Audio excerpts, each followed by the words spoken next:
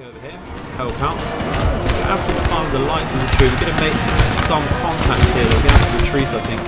Pull back from this music right tree. Hello, hello, my good students. Welcome back to Napoleon Total War. This is a new series we're starting today. Um, we are going to be starting another Darth Mod campaign, and we're going to be playing as the Kingdom of Prussia. We are going to be playing on hard and hard battle difficulty, and just go over the options quickly. Nothing on there. Historical victory. So, what is the aim of this playthrough? Well, we are going to uh, build up an economic base and then we are going to perform a revolution to become a republic so we can unite Germany and then spread this revolution throughout Europe. This is, um, of course, ahistorical. Um, Prussia, very classically seen as the neutral nation during the Napoleonic Wars. However, that's not entirely true. They were very much against the French Revolution and very much against Napoleon himself when he became first consul and then later on emperor. Um, however, it was did come down to the fact that they waited just a little too long to act in Napoleon's 1805 campaign. Um, many people believe, and so do I believe, that uh, if the Prussians had acted um, from the get-go on Napoleon's 1805 campaign, Napoleon would not have been able to uh, wipe the floor with Europe um, as he so did um, because he would have had to fight from too many fronts, of course. Now, um, what we're going to do is make a republic, and we're going to try and set up uh, a lot of puppet states, satellite states, as uh, with the will of the French Revolution was to do, is to spread uh, revolution throughout the uh, European theatre. So how are we going to do that? Well, like I said, we're going to build up an economic base by uh, using our bonuses from the absolute monarchy that we start with. We're going to tax the nobility quite high, build up our infrastructure and farmland, and even try and ally ourselves a little harder with Napoleon rather than the classic coalition forces of Austria and Russia and of course Britain. So let's get going and see what we can do to start with. So, we have the uh, mission issued uh, Reformation of the Army, construct a drill school. And the drill school is not the second tier of barracks, it is in fact the third. If we go to our research tree here, we can see it is number three here, as I'm sure many of you are aware. We do have access to some very useful tier two military technologies to begin with. We have logistics, which is a personal favourite of mine, and we have Army Corps Organisation um, for minus 5% upkeep costs. However, we're going to start with national debt, and that is because we get minus 5% upkeep costs to our armies from the get-go there, and just a very nice base of uh, turn or wealth per turn to every region there. Minor, but it will build up. We have uh, George Friedrich Hegel over here, um, who has a bonus for civil technologies by three. So that's going to cut our research time down from 8 turns to 5 turns. We also have a fairly good standing army as Prussia, but uh, we're going to work through that as we work through uh, increasing our infrastructure here. We're going to build our roads, we're going to build up our farms. Um, if you ask me, this is exactly what you need to do to uh, get a good start to any Napoleon and even Empire Total War campaign is get your roads and farms going. The same goes for Shogun 2 as well, and I think we will play a little bit of Shogun in the future, of course. So we have roads going, we have farms going. Uh, what else is there? We can't afford this last farm, but what we can do is I think we can certainly afford to uh, create this market over here. We have ignored our isolated territory in Cleves over here, and I'm not going to be too bothered about um, uh, Cleves over here, to be honest. So what we're going to do is uh, look at our happiness there. It's absolutely fine without the army, so we are just going to disband that. Because we don't need it there for the repression and the policing. Our happiness is absolutely fine there at the moment. We're not going to upgrade the uh, roads just yet. We are expecting to lose uh, Cleves in the early game, and that's absolutely fine. Uh, we can absolutely um, lose that in the beginning. We're going to try and centralize and build a good core for this campaign. We're going to use our neutral status to begin with to help us uh, isolate a little bit to begin with, then explode out into Europe by force. Our income isn't the greatest at the moment at 4,500, but we are, as stated, an absolute monarchy. Um, we do have some fairly decent ministers here, actually, with the Navy in particular, but we don't actually start with the Navy, so that's uh, pretty much useless. Um, but uh, was, I'm reading that wrong. That is the Army. We have a fairly uh, mediocre naval minister. But uh, yeah, for our army, that is absolutely brilliant then because we get 10% uh, recruitment cost reduction, 8% land, military technology research rate, which is very, very nice indeed, and 7% uh, upkeep reduction as well, which is excellent. Treasurer, very nice indeed as well, helping our taxes and growth. And our uh, head of state over here, the foreign minister, mm, could be better, could be better. But we're going the bottom line here is that uh, with an absolute monarchy, your nobility doesn't mind being taxed quite so much. So we're going to increase that, and that is going to propel us to 5.9 thousand income from there. We're going to consolidate our armies over here. We're going to garrison in Potsdam. We're going to decide what we want to keep over here, because we do have a fairly nice standing army. Um, that will bring us to, if we bring out our general here, bring us to a good 18 units, but it's not the best. I would rely a little less on the cannons, and for my personal taste, bring in a few more units of line infantry.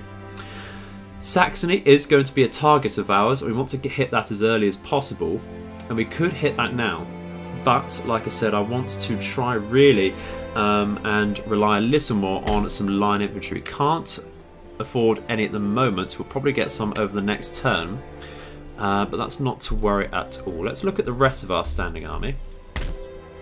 We have some Landwehr over here and some cannons. We're going to remove those. We're going to keep the Silesian Schützen because they are limited to a number of two. Um, and we can't actually recruit those at all just yet. So we're going to completely remove this army over here. It's not needed. And we have General Blücher over here, Gebhard von Blücher, the uh, hero of Waterloo for the Prussians.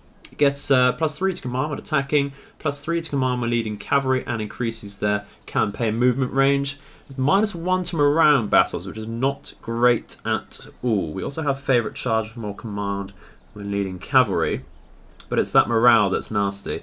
Uh, because that has reduced us down to 5 morale for our standard line infantry there, and that is not good at all.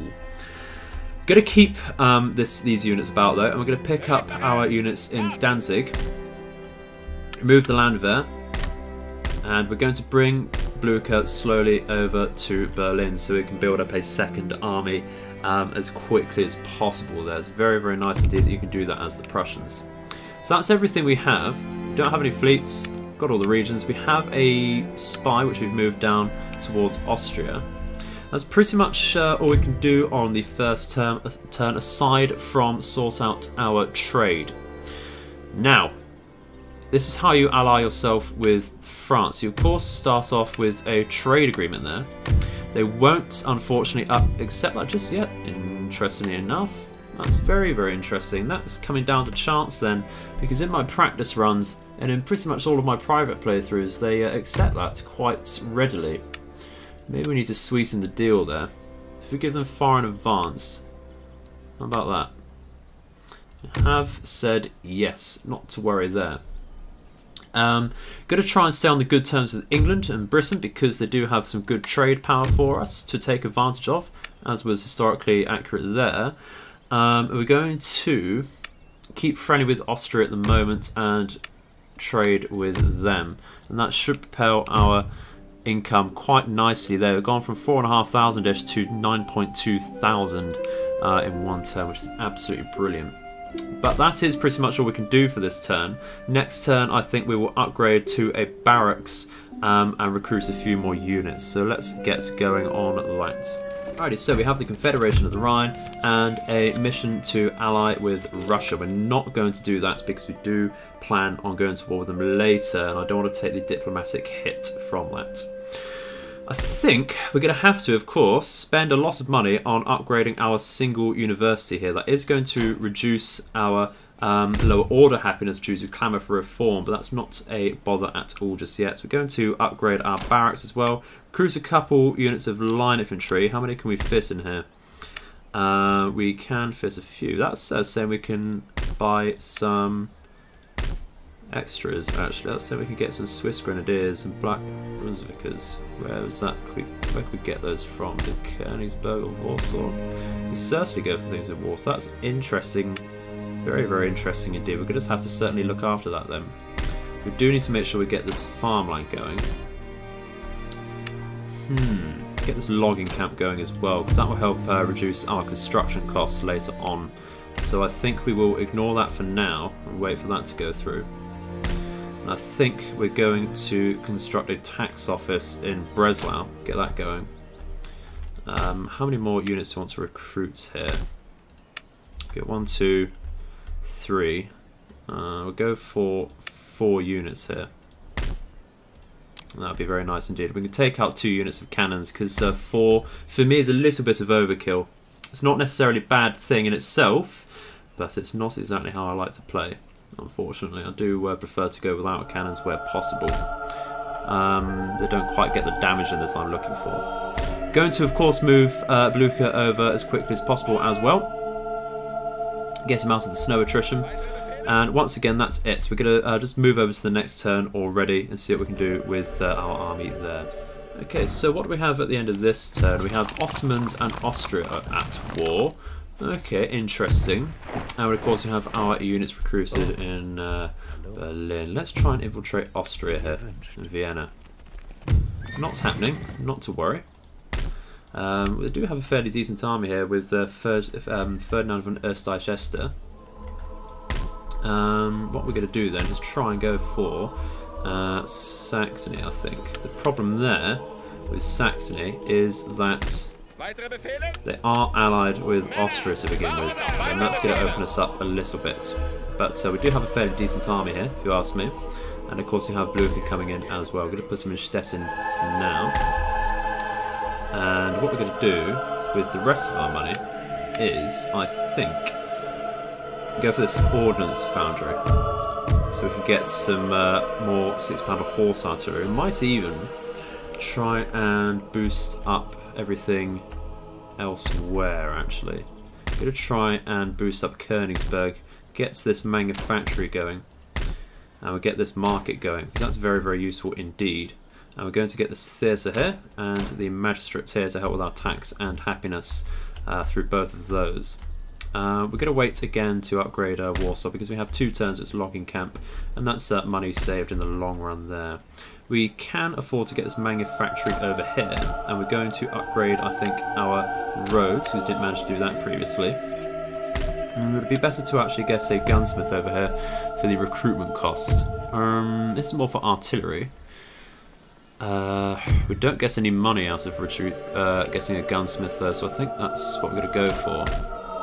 I'm going to upgrade the barracks here so we have an extra uh, forward base there to recruit from.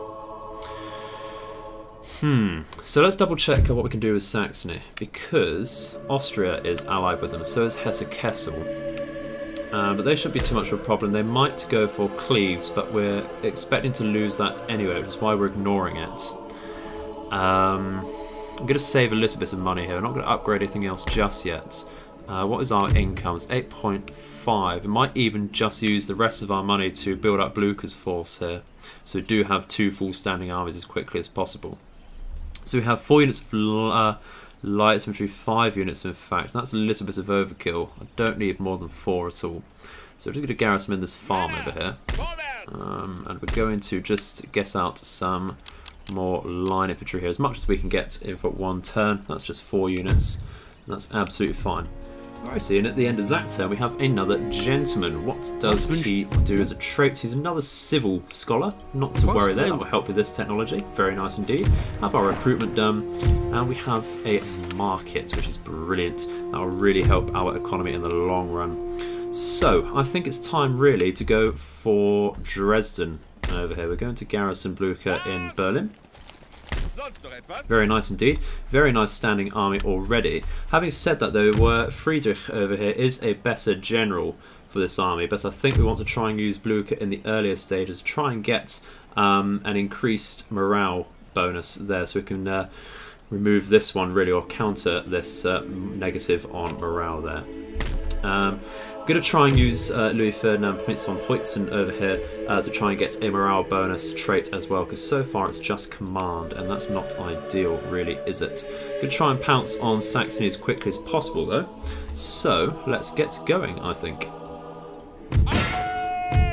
We don't have any allies to help us, but that's not to worry. We will go to war with Austria and the electors of Hesse-Kassel as well.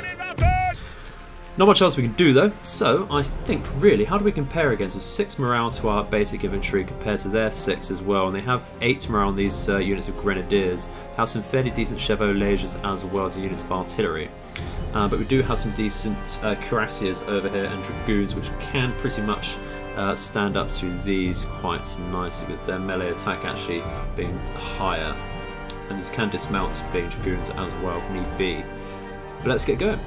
Alrighty, so the uh, Kingdom of Saxony is going right for our centre here, which is actually the weakest point. We are trying to get this hill over here to get our cannons uh, firing very nicely indeed. We're going to protect them with a couple units We've of taken the buildings sir. over here. We can see we're taking a building. Come to that, to that in a second. Just double checking we are unlimbering neatly over here so we don't cause any friendly fire with our cannons and that should be very nice indeed. So, uh, it looks like we're under pressure fire over here because um, it's under artillery attack. Uh, I wonder if we should pull back a tad under this hill but it looks like that's not going to make a difference. Um, we're going to try and calm this obstruct a little bit of terrain there, trying to perform a decent line there. On our left flank, uh, we're a little messy because we're taking advantage of this uh, building over here as well as the walls for protection. Going to keep these units I think over here in uh, reserve. Watch out for our morale over there. We're going to have to make some sort of move. We're Going to make a small hammer with our light infantry over here on their right flank.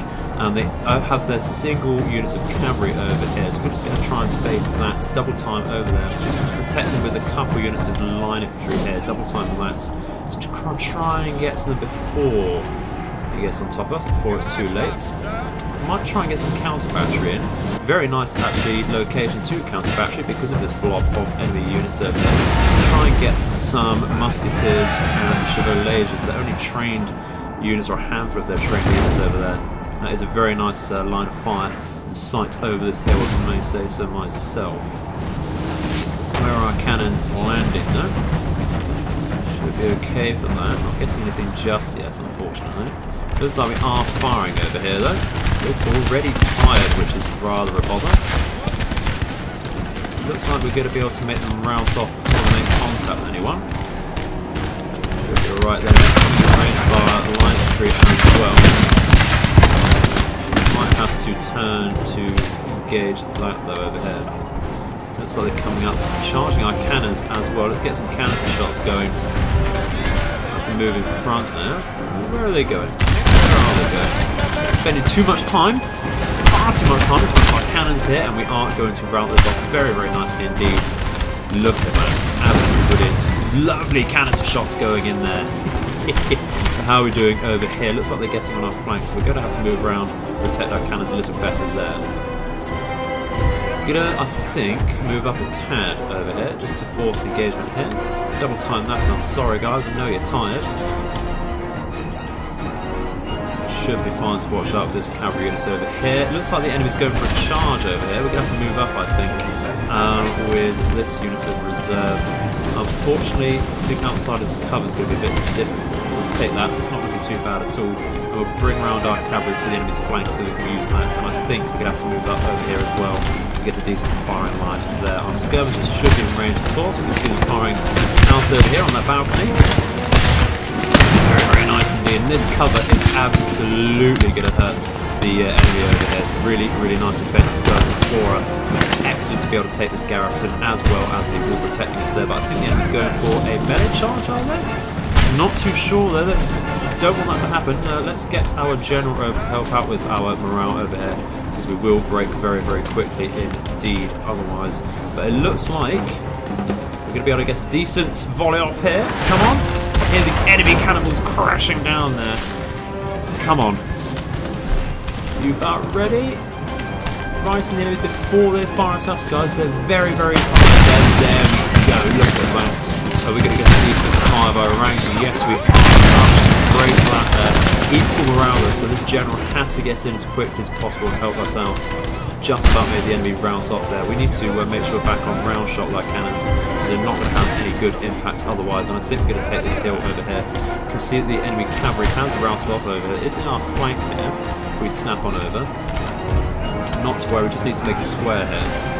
Might have to make a couple.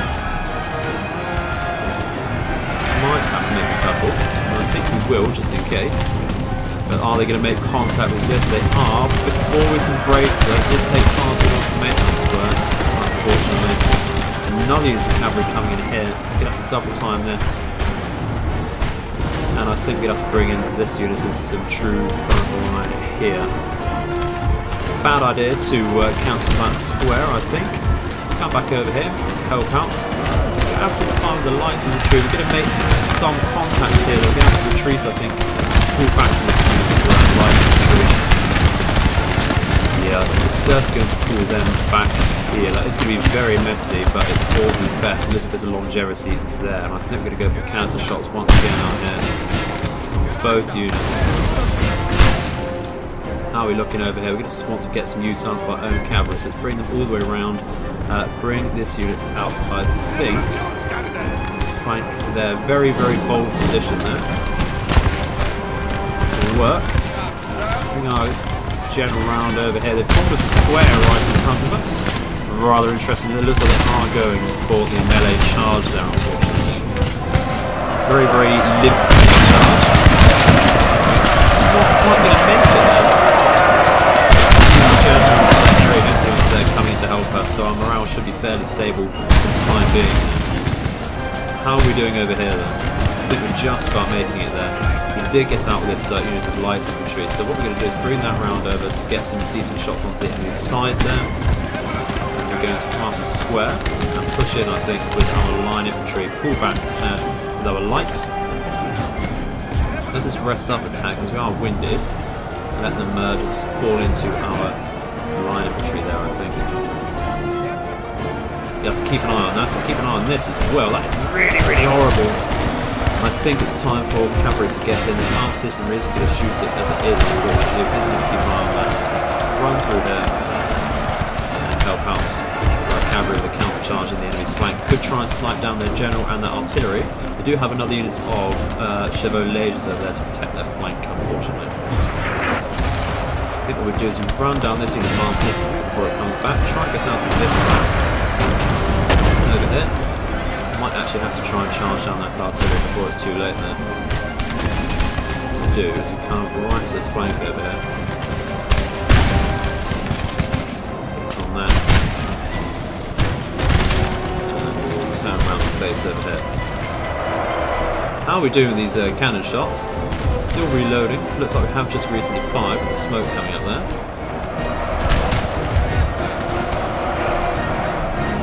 Try and slow down this general, try and get a morale shot going. I think we have to charge into the flanks over there really, don't we? Try and hold that melee engagement.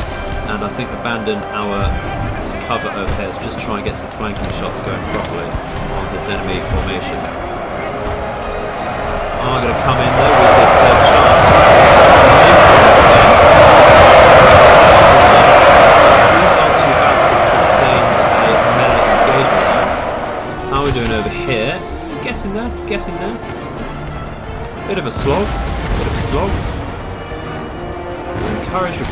for being on high ground, very nice indeed. There's a come round to the enemy's flank here, I think. That's fairly thick lines there, not to worry try and get round. The enemy's cavalry is going to push up, I think, but we're going to have to try and get rid of these cannons. Sir! Sir! General. Our general is under attack! Make sure he doesn't escape. How are we doing with these dragoons over here? Yeah, making sure they're bouncing off. Excellent. Try and get, I think, uh, these musketeers before they form a line, I think. Out properly over here onto this unit. Enemy general's dead firing off some canister shots into their backs over here. That is excellent. That is really going to hurt the enemy's morale there. And I think rather go for their cannons now because they're not so useful. We're going to try and go for the centre. Help out our own infantry there. And double time this, we get a clean shot. That's not looking too bad at all. Are they facing towards us? They certainly are. It looks like a loss in the reload. We should be absolutely fine on this charge. A tad tired though. It could be somewhat limp charge. And limp is not a word you want to describe your charges. We're getting some units to our flanks which is rather interested. Must have routed towards our flanks. We should get some units uh, from this uh, garrison firing out in that direction. Might just want to come out fire steadily there. You can tell from their ammunition they've not actually fired too many shots from that building, which is a shame. Are we firing properly out into this unit? So we need to uh, go forwards a tad. These units should uh, certainly deal with the citizenry. We're going to move forwards a tad to get on their flanks. We have some more... This is not great. This is not great. Have some more people coming back from our flank. How are our cavalry doing there? Absolutely fine, really, aren't they? Bit split up. Bit split up. I think we're going to go down for their cannons over here, chase off these units. We should be all nice and dandy for this battle. Just mopping up now. Just mopping up. Are going to support our extra lines though the small skirmish is still happening. I think stop firing our cannons really because they're not doing too much now uh, fire a decent lineup over here. We've lost a lot of people. They've lost a lot of ammunition as well. It has been a very bloody battle. Very, very bloody battle indeed. Hopefully we can get some chevrons on our units out of it though. Not exactly over just yet. Seems to be a nasty melee over here. That's what our dragoons over here do. Need to get in to help us, I think. Because uh, this arm system we might decide to fire rather than get into a melee. Have we dismounted the men cannons? I don't think we have, so we're going to go in for that. Very, very lucky we have some fairly elite heavy cavalry, these uh, horse guards actually, rather than light cavalry ourselves. Wouldn't be able to do this on our Austrian campaign. We're going to countercharge over here because they are getting some shots off now. We're going to get right in the face over here. And these enemies haven't lost many men at all in this uh, particular regiment, Glorious we victory, sir! soon here. to be yours. So it is just the centre, uh, looks like this unit over here needs to uh, really be put down properly, but another few volleys should deal with that. This one is really, really holding though. Not liking that at all. But we are getting rid of it there. These units should just be about to fire here. It's like we're reloading. I think what we're going to do is get this unit of cavalry out to deal with these uh, garrison units. Charging the enemy's flank over here. Might want to uh, carry on chasing here actually with the units of cavalry. Make those uh, don't come back. And that will be that. Alrighty, so at the end of that battle was just chasing them down in the end. Um, deployed a couple for one and a half thousand more than we did, mostly because of the large groups of armed citizenry. We did lose 1.3 thousand men though, and that is a hell of a loss at this stage of the game. Uh, we did earn a lot of good uh, chevrons here, and this particular unit doesn't need to do a lot of uh, replenishment. Earned four chevrons there, which is absolutely disgusting. Put in a lot of work there. Uh, but Saxony is now ours and uh, we are going to occupy that for ourselves because that's going to be a very nice little money maker and forward base for us I think. So let's get going and push on that. They're not going to like us at all there so we are going to have to deal with a um, rebellion there at some point, but that's not to worry. We do have uh, the secondary army in Berlin to deal with that, and we have finally got a plus one to morale in battles with this particular general, so that will go a long way in future battles there. We're going to repair and get our magistrate and opera house up here, as well as upgrade any roads which needs to be done. What else has that got us for minor settlements? That's got us a mine in Leipzig, and we have Erfurt, which is another members club over here. So that will help out with our happiness and amount of spies we can get. As well as let us get some more elite infantry later on, which is absolutely brilliant for us there. So, I think that is about all we have time for today, ladies and gentlemen. We have a battle win, we have a good foundation going, and we're getting a very nice second army out over here. How does that affect our incomes? A little bit better over there, which is very, very nice indeed. So, I think next time we're going to be fighting rebellion and seeing how it goes against Austria because we have just opened up our doors to Prague over here and I think we will try and make that a puppet state. But thank you very much for watching. Looking forward to hearing your comments in the uh, section below. And in the meantime, I hope all of your nights and days are auspicious. Goodbye.